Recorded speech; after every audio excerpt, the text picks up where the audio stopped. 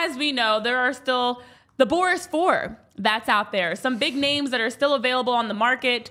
And this past weekend, uh, for the first time in a very long time, we directly heard connections of Blake Snell to the Phillies. We had already heard Jordan Montgomery's name in the mix. Um, but now it seems as though the Red Sox may be the favorite for Jordan Montgomery.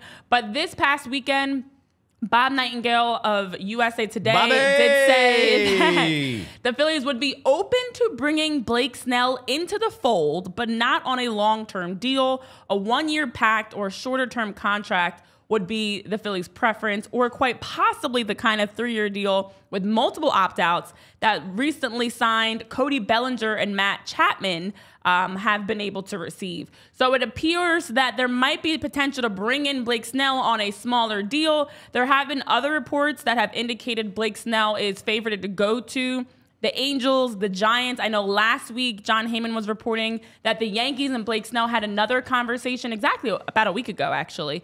But it was seeming as though the two parties were not able to find a common ground. And it was through that conversation that they had last Monday that it seemed that the Yankees and Snell are actually not moving closer, and quite the opposite. The chances of a deal happening with the Yankees for Snell are extremely low.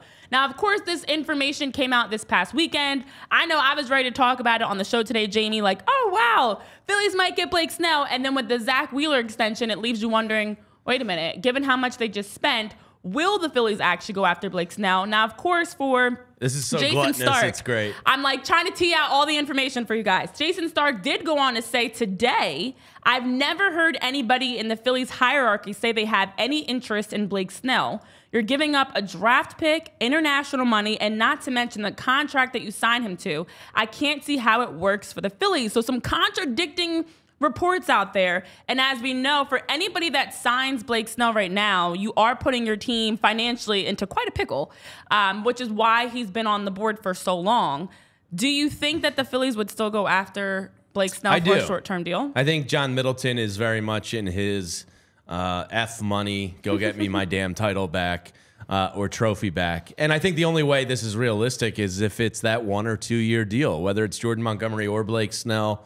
Um, uh, you know, Scott Boras uh, might have some splaining to do to some of his uh, clients because you know, like apparently Jordan Montgomery turned down a, a, a pretty decent deal. Was that the Blue Jays, Tyler? Uh, according to some reports, he got offered like 140 million and turned Yeah. it down.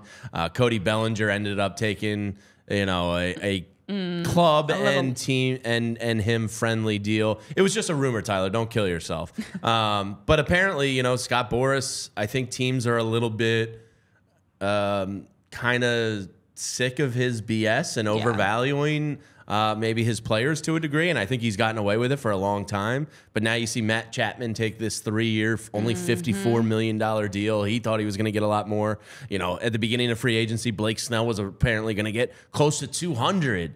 Um, and I think his clients are finding that the market isn't there for them.